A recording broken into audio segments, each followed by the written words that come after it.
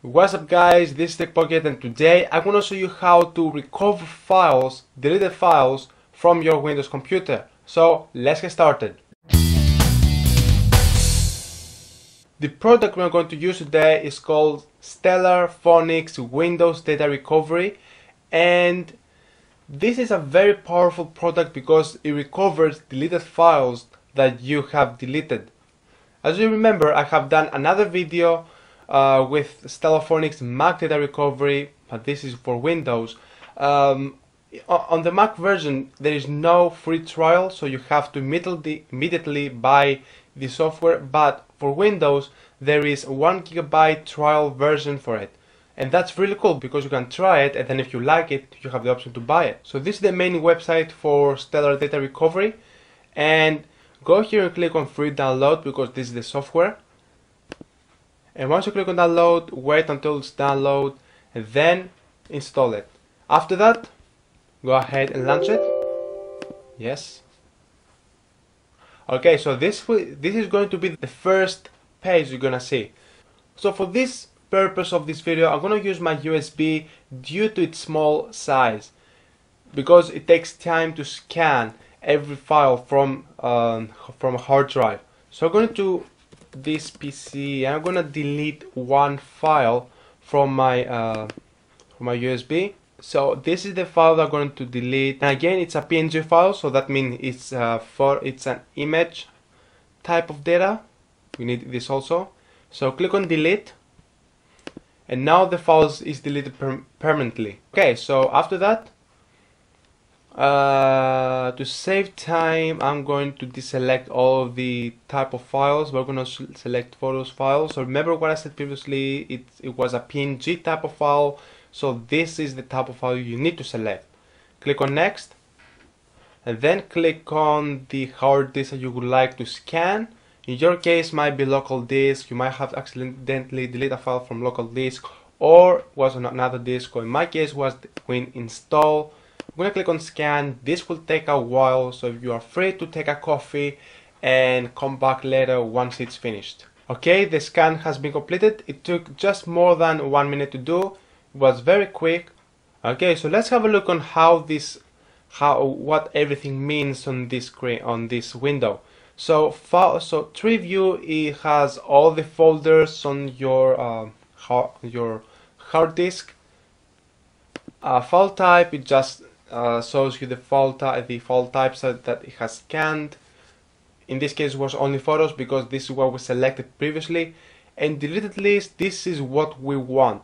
This is, what we, this is where we need to go ahead and find the deleted file that we just deleted. So here it shows all of the deleted files that are found from your, your from your hard drive. Because we have selected deleted list, it only displays deleted files from your hard drive. So um, if you click on each of these files it's it previews what the file looks like. So this might help you to, to identify what the file look look like. In my case this is the file that I have recently deleted because as you can see here it says main menu message evidence test. I'm gonna expand the window a little bit here. And so this is a file that we that we have deleted. So you are free to select this box. It says how many what's the size of the file is click on save and as I mentioned you have only one gigabyte free for this um, for this software. So click OK. Uh, select destination. So make sure that the destination to save the file is different.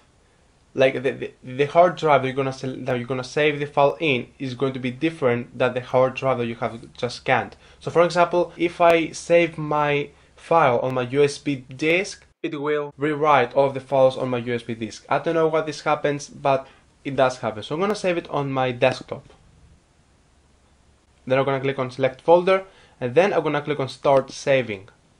There you go, so it, it created a root folder, and here the image exists.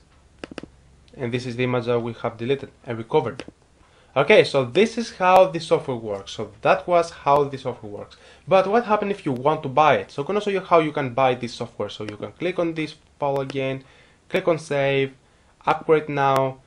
Uh, don't have the registration key. Next, it takes you to a page where you have to select one of these um, deals.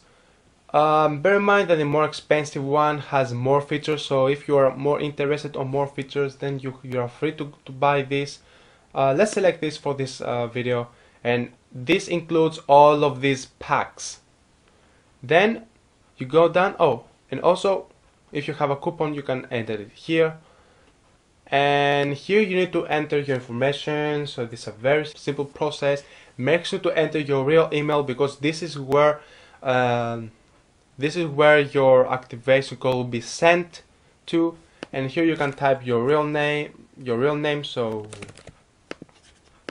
for example uh, which country you live you credit card number um, uh, expiration date so wh when your uh, credit card expires uh, your card security code, uh, view more input fields, so where you live, some of the uh, some of the details here.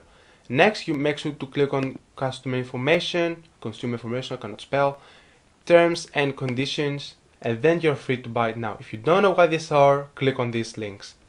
Okay, so this is how, how you buy it. Next, wait for a while and then the activation code will be sent to your email. And once you have it you you you can go here and type it in.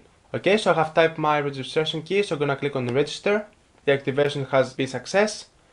And if it didn't work you are you are free to email back to the company and tell them to send you another code if if the code that ju they just sent you don't work so that was the review for the day guys, I hope you enjoy it. If you're a new visitor to this channel, you are free to subscribe to not miss any new video that I upload. Thank you again, I'm gonna see you in my next video.